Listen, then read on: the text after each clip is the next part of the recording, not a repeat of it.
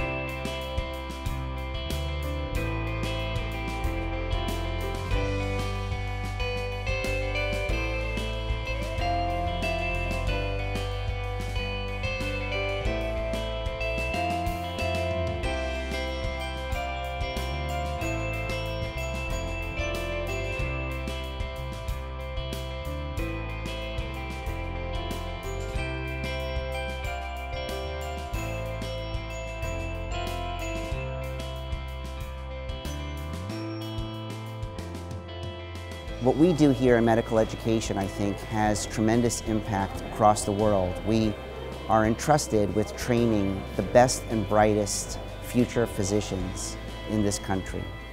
That's really important because it influences so many hundreds of thousands of people who will be cared for by the graduates of this program. Our goal is to train leaders and healers in medicine. And what we want to do in addition to training the best and brightest, is to train a diverse group of students. And scholarship funds allows that to occur because many people simply would not be able to attend medical school without scholarship support.